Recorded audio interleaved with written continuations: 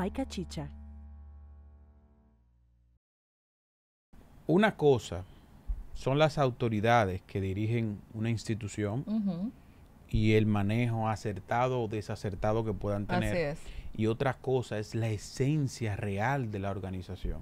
Yo no puedo, porque estén, eh, haya visto que el gobierno, un ejemplo del presidente Danilo Medina, para mí sea nefasto, yo no puedo decir el Estado es fallido. No, el Estado en esa gestión falló. Falló, fallaron esas autoridades que gestionaron el Estado durante esos ocho años. Pero el Estado no es fallido, el Estado es una institución sólida y que en esencia es una institución que sirve para servir a la población. Tiene y a sus los normas demás. establecidas. Es lo mismo igual con la Iglesia Católica. Una autoridad o que esté en la iglesia o lo que sea y tenga decisiones desacertadas, esto no quiere decir que la, que la, la iglesia en esencia lo sea. Ojo con esto, ojo con esto, esa precisión. Y otra precisión es el tweet que voy a poner ahora. José, ponme ese tweet ahí de mi hermano Manuel que dice, él le pregunta a ella, hola, ¿cómo estás? Ella le responde, ¿quién me habla?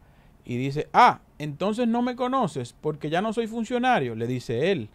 Y ella responde, viste, ya me quitaron los 8 mil dólares que me pusiste en Cancillería. ¿Pero qué es esto? Y él responde, no te preocupes, amor, volvemos en cuatro años.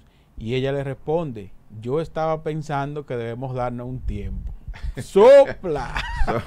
Terrible, Manuel. Bueno, eh, ¡Sopla! eh, eh, reflejando un poco una realidad desde la perspectiva de Manuel Pero ¿y de lo que es sucede eso? en la administración ¿Pero ¿y pública. qué es eso? ¡Sopla! Yo quiero, a propósito de las designaciones no de, de los nuevos funcionarios y el inicio del nuevo gobierno, yo quiero eh, decirle algo a los nuevos funcionarios. Miren, el decalabro de una gestión de gobierno inicia por la pérdida de la percepción pública favora- favorable.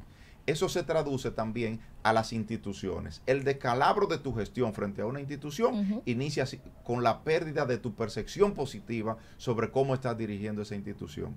Después de la pérdida de la percepción, se concretiza entonces cuando te quitan el poder. Es lo que pasó con el PLD. Pues hoy yo le quiero decir a los funcionarios del PRM, miren, cuando usted lo designan en una institución, luche primero por ganar la percepción pública. Eso se gana comunicando adecuadamente y haciendo una gestión acorde con lo que la gente ha estado demandando. No llegue a las instituciones por llegar. Trate de dejar una impronta, trate de cumplir un objetivo de su propio gobierno, de su propio presidente, pero no sea un funcionario fusilánime. No vaya ahí simplemente a sentarse, a ponerse una chaqueta, a subirse una corbata y a creerse la, la- la película. Si alguien se creyó la película, fueron muchos funcionarios del PLD. Yo le pido a los del PRM que no caigan ahí también. Eh, porque aunque el PLD hizo demasiada cosa positiva en sus gestiones del gobierno, yo quisiera que el PRM haga muchas más, porque a mí lo que me interesa es el desarrollo de mi país. Al margen de mi vinculación partidaria, tengo el mayor de los deseos porque Luis salga bien de esta gestión y eso se va a traducir de algún modo en bienestar para todos los dominicanos y a eso debemos apostar todos los que entendemos que República Dominicana debe ser mejor.